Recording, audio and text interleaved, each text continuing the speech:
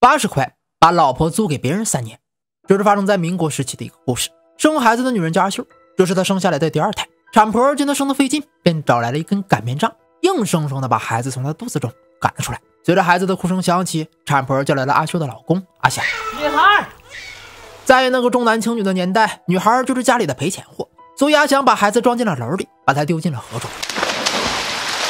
这有人生了不想要，就有人想要生不了的。隔壁村的一大户人家李秀才，他年近五十，却无一子嗣。那个时候的老人就讲究不孝有三，无后为大。李秀才的媳妇儿早年是生下了一个孩子的，但不幸染上了天花去世。从那以后啊，他的肚子也就一直没了动静。为了能让李秀才传宗接代，他也提过让李秀才纳妾的事儿，但李秀才怕他伤心，不但不纳，也再也没有提过孩子的事儿。媳妇儿通情达理，老公也确实是个好老公。可随着李秀才的年纪越来越大，他的家族着急了。这帮老头给李秀才下了个最后通牒：如果这几年李秀才还不把孩子的事情搞定，那他死后就别想进宗祠。没招了，又不想纳小，这李秀才的媳妇儿就想到了要给李秀才点一个临时的媳妇儿，也就是早期的代孕。为此，李秀才家愿意出八十块大洋。这个风啊放出去后，就有很多人帮他们家物色女人。然后一个老太太就相中了生了两个孩子的阿秀，年轻三十多岁，体格好，生的儿子够壮。最主要的是他们家够穷。电影里没有讲，但小说中说阿秀的老公阿祥是个皮贩子，他勤劳朴实，踏实能干。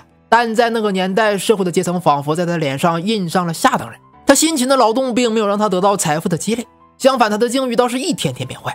后来，残酷的现实、匹配的身心，让他变得堕落，变得残酷，丢女儿打儿子，吃喝嫖赌，为此还欠下了一屁股的债。再后来，阿祥就生病了，要债的也都要到了家里了。也就是这个时候呢，这个老太太就找到了阿祥。老太太建议阿祥把媳妇租出去，阿祥没同意。那老太太就劝他呀：“阿祥都要病死了，还留着媳妇有什么用呢？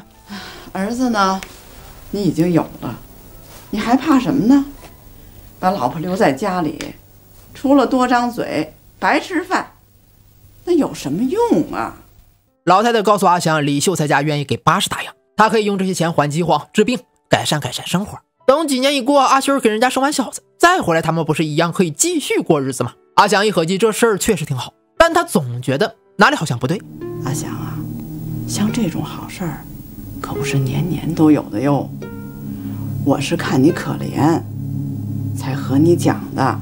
阿祥被说的一动了，可他们的谈话却全被站在门口的阿秀听了去。老太太见阿秀回来了，赶忙离开。阿秀走后，阿祥以死相逼。最终，阿秀终于同意把自己租出去的事儿，一张租赁。八十大洋毁了一个女人的一生。阿秀的老公与李秀才签了一张租赁，他把媳妇阿秀以八十大洋的价格典当给了李秀才，为期三年。在这三年期间呢，阿秀所生子女为李家后代，而李家要给阿祥一百大洋，其中八十块是租金，二十块为押金。期满，阿祥要退押金赎人。当然呢，如果阿秀在三年还未能为李家诞下男婴，那合同的期效还要再往后延两年。如果时间到了，阿祥不拿钱来赎人，那不好意思了，过期不候，阿秀也将永为李家所用。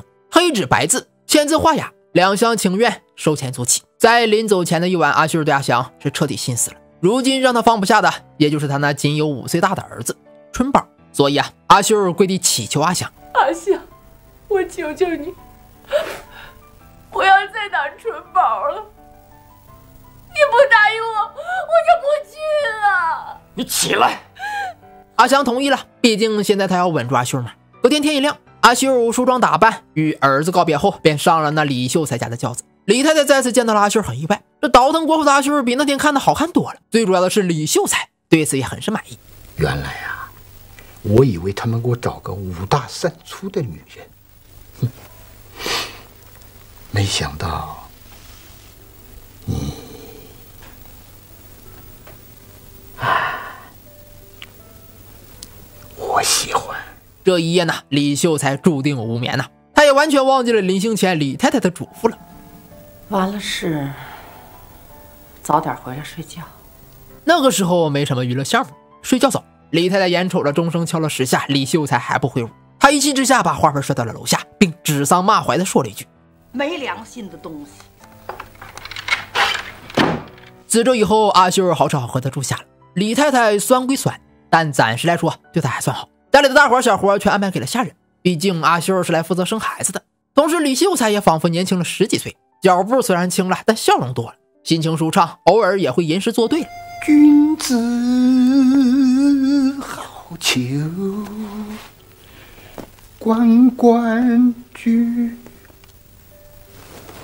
慢慢的，阿修从开始的抗拒也变成在一点点的接受李秀才。因为李秀才这个人吧，虽然丑了点老了点但他为人风趣幽默，温柔体贴。最主要的是，他还那么一表人才的。这接触的时间久了，她发现她老公阿祥和李秀才比起来，阿祥除了年轻，却一无是处。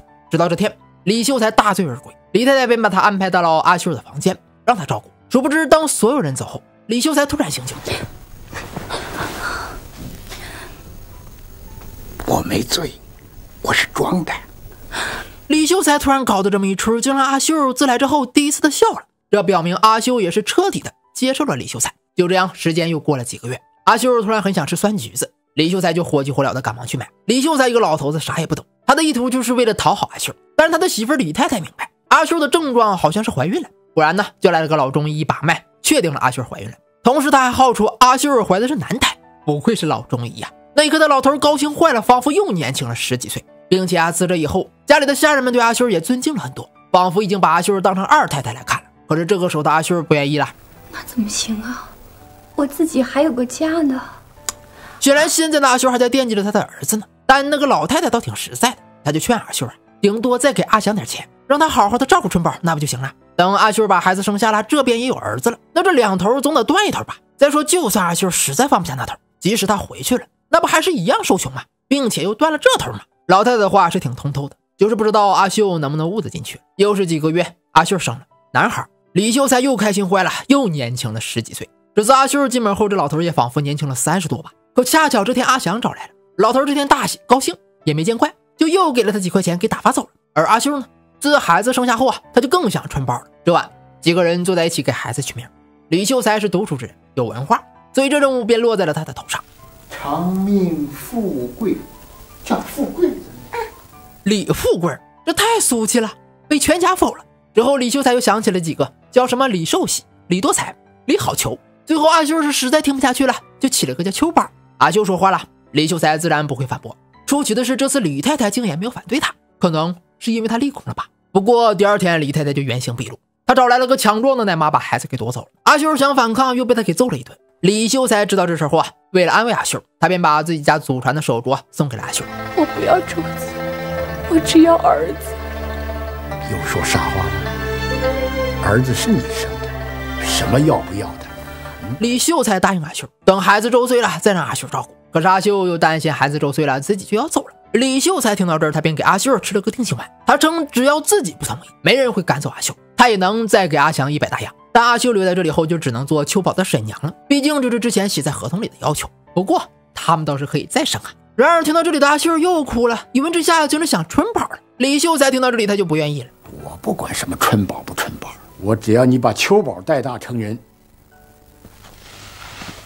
转眼时间又过去了几个月，秋宝周岁了。不过这孩子周岁长得真大。阿祥听到了信儿，也借送礼之名来偷见阿秀。他是来找阿秀要钱的。之前的那些钱，包括那二十块钱的押金，都被阿祥给花光了。现在他听到自己的媳妇儿给别人生下了儿子，立功了，他就来要钱了。可是阿秀没同意。然后阿祥就称是春宝病了，急需钱。听到是自己儿子病了，是阿秀就想把那镯子给阿祥。不过这却被李太太发现了。李太太并不知道李秀才给阿秀镯子的事，她认为是他偷的。二人争夺之下，竟把镯子给摔碎了。这事情发生后啊，李秀才对阿秀失望至极。李秀才认为，无论自己对阿秀怎么好，阿秀是始终惦记那个穷家的，只是养不熟的狼啊。于是李秀才准备赶走阿秀，可是李太太不同意。他让阿秀在这里做工抵债，但这个在干活的阿秀却经常去抱孩子，这就使得李太太忍无可忍的赶走了阿秀。来的时候呢是轿子抬着的，走的时候身上只有两个铜板，勉强够买个馕的。那么要回家了，见到了他心心念念惦记的儿子了，一切就会好起来吗？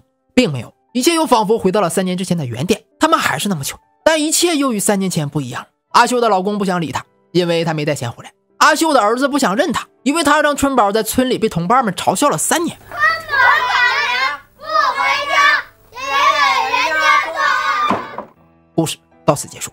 那么这一切为什么会变成这样？是阿秀错了吗？